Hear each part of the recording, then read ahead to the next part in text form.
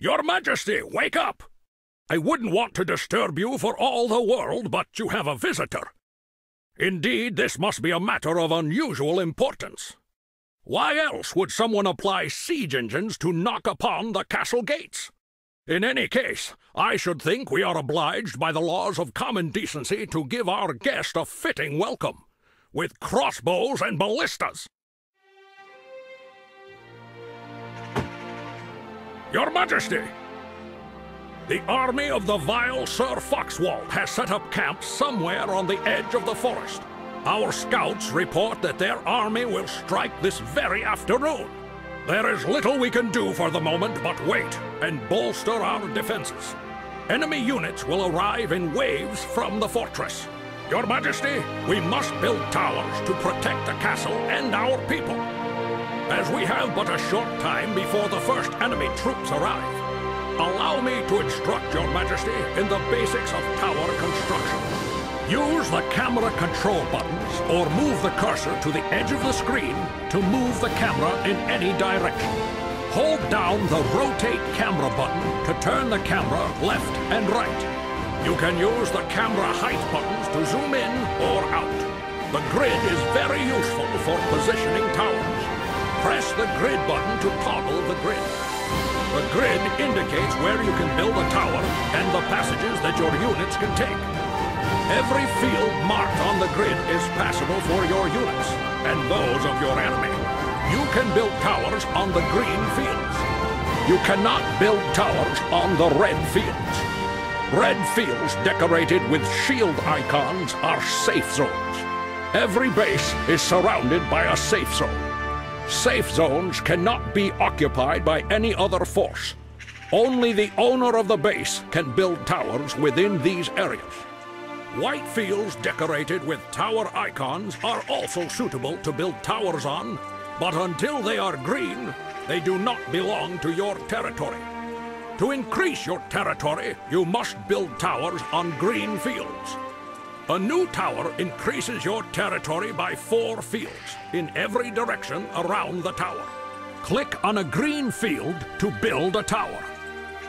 You can use the arrow buttons to navigate between the towers. Build a spear thrower tower by clicking on it with the left mouse button.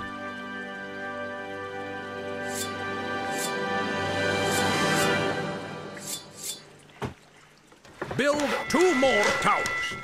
Here and here. To view the range of a tower, navigate the cursor over that tower.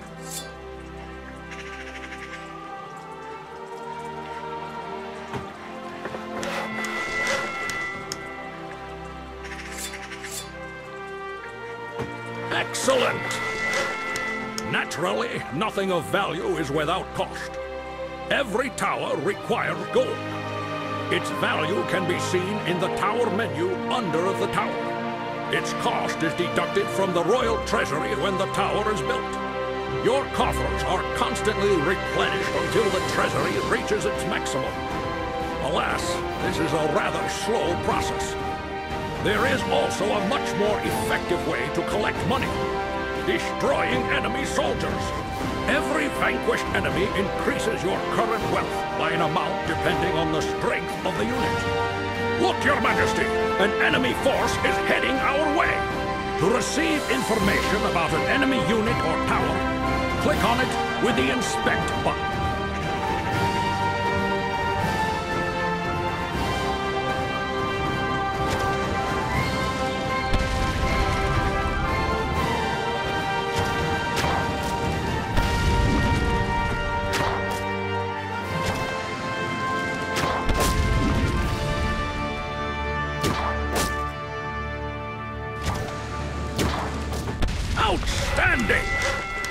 Your Majesty, all you must do is hold out until our armies are ready to launch a counterattack. Build towers as you see fit and protect the royal castle for two minutes. Press the fast forward button to accelerate time.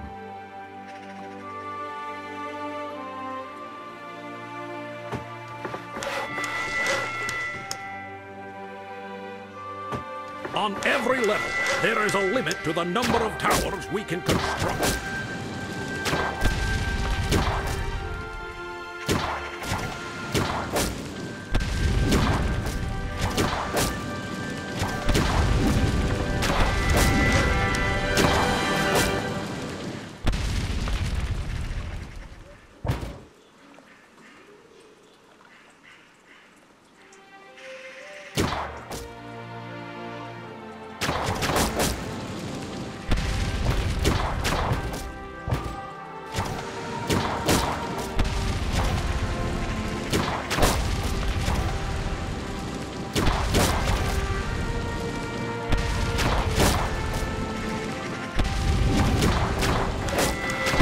What?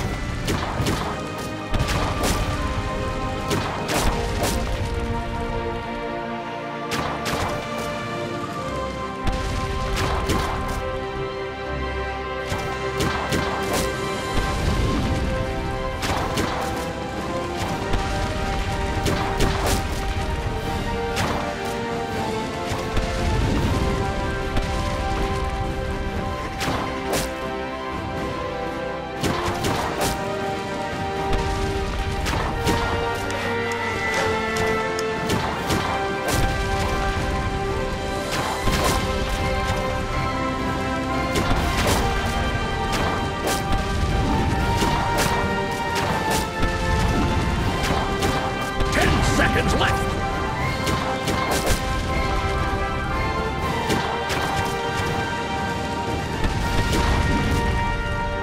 Excellent, Your Majesty! Our armies are ready for the counterattack! To destroy the enemy base, we must take it with our soldiers. Our troops can only move across the fields indicated by the grid, and will travel along the shortest route towards the enemy castle. They cannot pass through towers, so they shall have to go around them. You must create a wave of soldiers and send them forth to take the enemy castle. You can place any available unit in a wave in any order you choose. Initially, there can be only five units in a wave, but later this size can be increased to 10. Press the right mouse button to open the management menu and select the unit management button to assemble a wave. To add a guardsman to the wave, click on that unit with the left mouse button. Click on the unit multiple times to place several such units into the wave. If you would like to place different kinds of units in a wave, simply click on another unit with the left mouse button. Double-clicking on a unit will fill the entire wave with the selected unit. You can use the arrow buttons to navigate between units. When your wave is ready, click on the Send button to send them forth against the enemy base.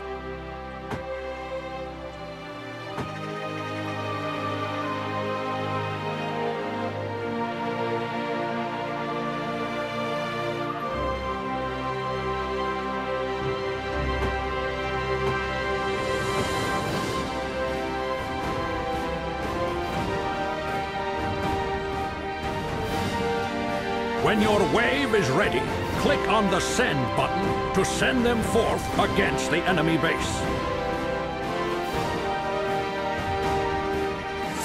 Excellent! The number of units available at any given time is indicated by a counter. If the counter reaches its maximum, you cannot send forth any more troops until the present ones are destroyed or they reach the enemy castle. Press the Hit Points button to toggle your Hit Points bar. Press the Hit Points button again to toggle your enemy's Hit Points bar. Press the Hit Points button once more to turn off the Hit Points bar. Excellent, Your Majesty! Now it is time we strike back at Sir Foxwald. Send units into the enemy's castle until it is destroyed.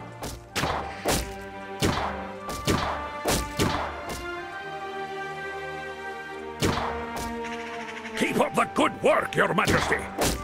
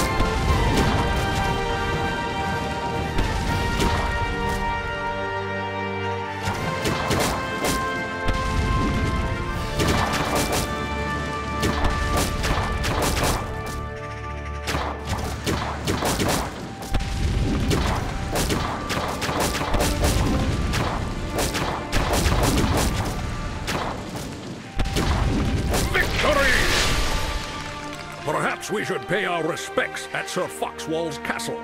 Don't you think, my lord? Since he sent us such a fine array of guests, it is only fitting that we return the favor.